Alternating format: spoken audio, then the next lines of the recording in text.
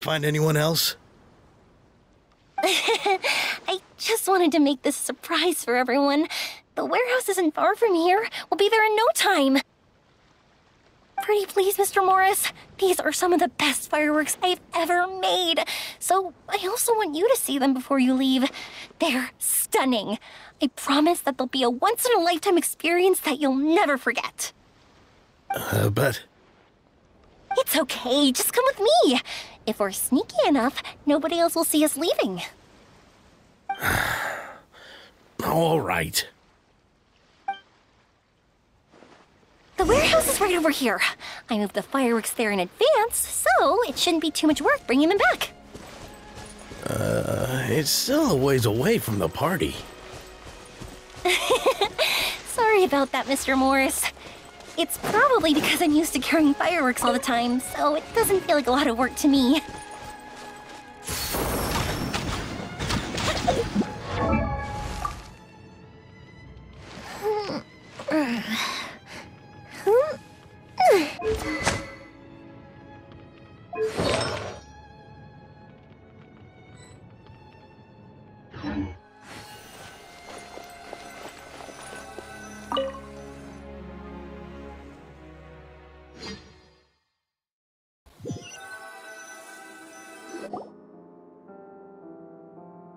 It's dark in here.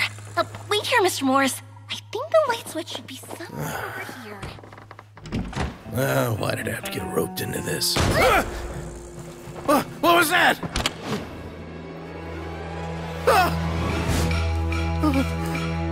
Ah! Who's there? Get me out! Get me out of here! Did you really think you'd get away, Morris?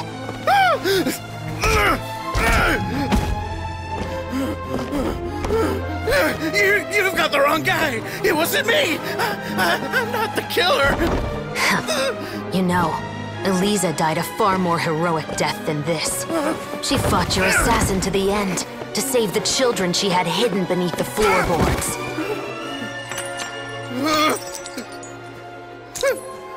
That is Eliza's pendant. The one with a photo of you two inside. The one you gave her. Ring any bells? It's a fake! It has to be! There's no way! No way your assassin didn't destroy it, you mean?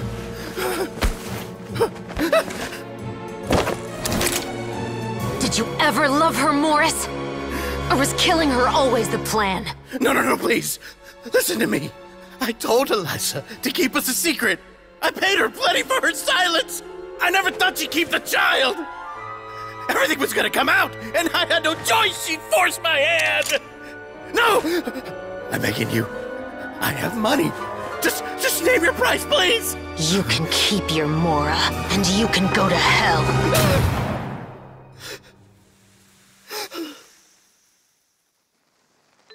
I'm Captain Chevreuse of the Special Patrol. Morris, you're under arrest for Eliza's murder. Huh?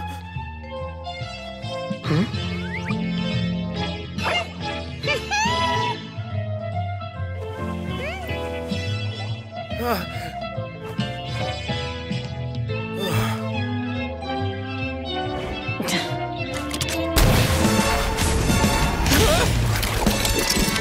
under arrest too, prop manager Veronique.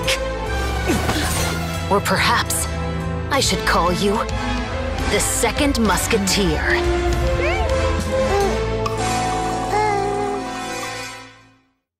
Wait, what's going on?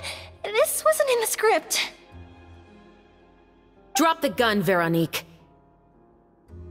Why? Why would you keep me from exacting revenge on this heartless monster? Drop your weapon. This is my final warning.